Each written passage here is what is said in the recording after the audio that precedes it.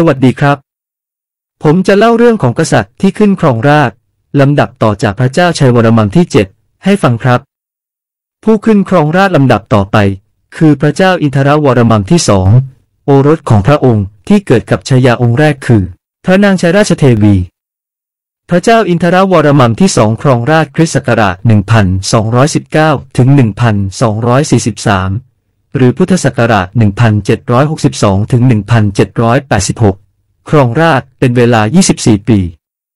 พระนามเต็ม คือพระบาทศรีอินทรวรมันเทวราช ไม่ปรากฏชื่อพระชายาและบุตร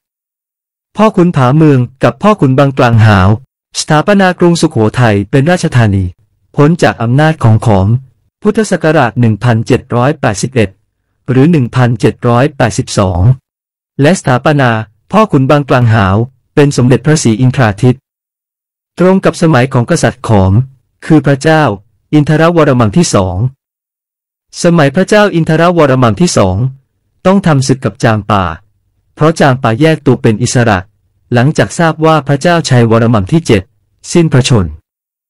ส่วนพระเจ้าชัยวรมันที่ 8 สถาปนาตัวเองเป็นกษัตริย์พุทธศักราช 1786 หลังจากพ่อขุนผาเมืองกับพ่อขุนบางกลางหาว ยึดกรุงสุโขทัยห้าปี ไม่มีเหตุผลใด ที่จะมอบพระคันชัยศรีให้พ่อขุนผาเมือง ก่อนที่ตัวเองจะขึ้นเป็นกษัตริย์ธิดาของพระเจ้าชัยวรมันที่เจ็ดคือพระนางสิงขอนเทวีธิดาของพระเจ้าชัยวรมันที่ 8 คือ พระนางอินทรสุดาเป็นคนละคนกัน ในประวัติของพ่อขุนผาเมืองชายาคือ พระนางสิงขอนเทวี เป็นธิดาของพระเจ้าชัยวรมันที่เจ็ดส่วนพระนางอินทรสุดา เป็นธิดาของพระเจ้าชัยวรมันที่แปดขโมยดาบไปให้สวามีของพระนาง ที่จะขึ้นเป็นกษัตริย์ต่อจากพระเจ้าชัยวรมันที่แปดคือพระเจ้าอินทรวรมันที่สามสรุปว่าเมื่อครั้งที่พ่อขุนผาเมือง ร่วมกับพ่อขุนบางกลางหาว ยึดเมืองสุโขทัยอยู่ในสมัยพระเจ้าอินทรวรมันที่สองเป็นกษัตริย์ ส่วนพระเจ้าชัยวรมันที่แปดยังไม่ได้ขึ้นเป็นกษัตริย์ พระคันชัยศรีอยู่ที่พ่อขุนผาเมือง พระขันนี้มีเล่มเดียว สร้างโดยพระเจ้าชัยวรมันที่เจ็ดไม่มีใครจะกล้าสร้างเล่มที่สองแล้วเรียกชื่อเหมือนกัน ถ้าทำแบบนั้นก็หัวขาดครับ พระองค์เป็นชาวพุทธ เป็นผู้บูรณะปราสาทตาโสม ซึ่งสร้างในสมัยพระเจ้าชัยวรมันที่เจ็ดที่ยังค้างอยู่จนแล้วเสร็จ สมัยพระเจ้าอินทรวรมันที่สองจักรวรรดิของ สูญเสียการควบคุมอาณาจักรจามป่า และอาณาจักรสุขโขทัย ที่เกิดใหม่ภายใต้พ่อขุนศรีอินทราทิต ผมจะเล่าให้ฟังเพียงเท่านี้ในช่อง YouTube ของคนไทย ไม่มีใครทำคลิปเล่าเรื่อง พระเจ้าอินทราวรมันที่สองไว้เลย คลิปนี้น่าจะเป็นคลิปแรก ผมมีบทกลอนนำมาเสนออีกเช่นเคย มีดังนี้ครับ จะเล่าเรื่องเบื้องหลังให้ฟังต่อ แบบย่อๆ เรื่องเก่า เอามาเสริม เรื่องพระชัย ราชเทวีนี้องค์เดิม เล่าเพิ่มเติม เรื่องหลังเมื่อยังยาว หลังพิธี อภิเษกได้ไม่นานชัยวรมัมจากบ้าน ทิ้งให้เหงา ไปเมืองจามทำสงครามมิใช่เบาพระชายาอยู่เย่าแต่เดียวดาย ตั้งตารอเพื่อต้อนรับการกลับมา จนสวามีเป็นราชาสมดังหมายชัยราชเทวีถึงที่ชีวาวาย ด้วยโรคร้าย ล่วงลับ ดับชีพไป การเวลาผ่านไปได้สิบปี พระสวามีอภิเศษชัยใหม่ อินทรเทวีมิใช่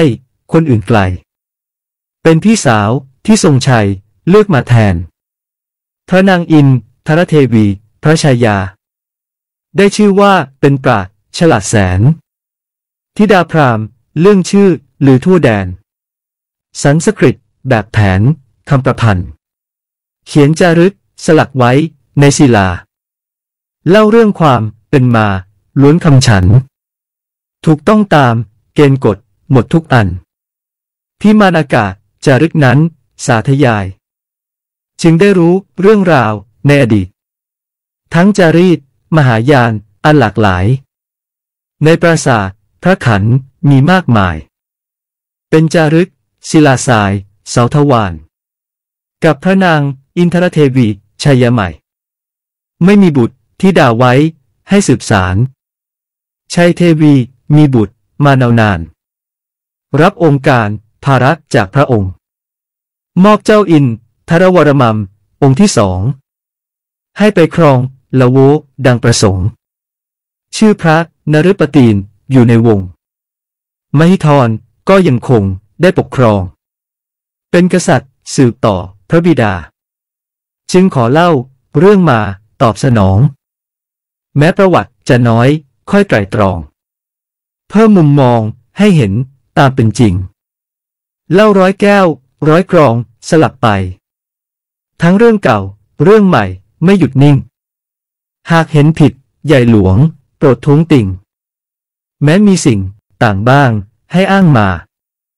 เรื่องที่เล่า รู้เถิด เกิดไม่ทัน หลักฐานที่ยืนยันต้องค้นหา จริงหรือเท็จ ร่วมกัน จำนันจา พิจารณาความเห็นเป็นฉันใด มีเกร็ดเล็ก เกร็ดน้อย ค่อยๆเล่า พี่น้องเราเฝ้ารอข้อสงสัย อยากจะรู้อยากเห็นความเป็นไป จึงมาแจ้งแถลงไขเข้าใจกัน เล่าร้อยแก้ว แล้วเปลี่ยนเป็นกลอนบ้าง พบเรื่องใหม่นำมาอ้างเพื่อสร้างสรรค์ จงใคร่ครวญถ้อยคำที่จำนัน เหตุผลนั้นควรสดับและรับฟัง ผู้เห็นต่างมีมากล้วนหลากหลาย